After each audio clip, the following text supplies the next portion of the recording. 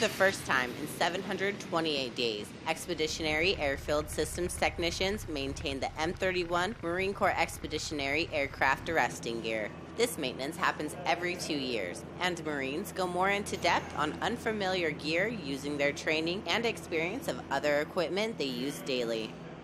I think this type of maintenance uh, teaches Marines attention to detail. We see this gear every day, but we don't get this in depth every day. So uh, they get to see more of like the inner workings, and uh, there's a lot of small things that we have to do during this maintenance uh, that if you if they went overlooked, you could cause potential loss of human life. The Marines stay on top of this equipment because an aircraft could land and impact the gear at up to 195 miles per hour. Sergeant Gonsoulin also says after seeing the hard work he puts into the gear, he gets a big sense of accomplishment knowing he has the potential to save people's lives. I've worked with this gear longer than these Marines, I like to show them uh, firsthand, you know, sort of take the reins and, and show them that I can do it as well.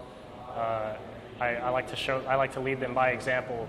Um, as, as an inspector, sometimes it's hard to, to take a step back, but I, I really feel like uh, where I contribute to these Marines or, or how I help them is that I, I show them that I can do everything that I ask them to do. The gear is classified as deployable equipment, therefore making the maintenance pre-deployment training.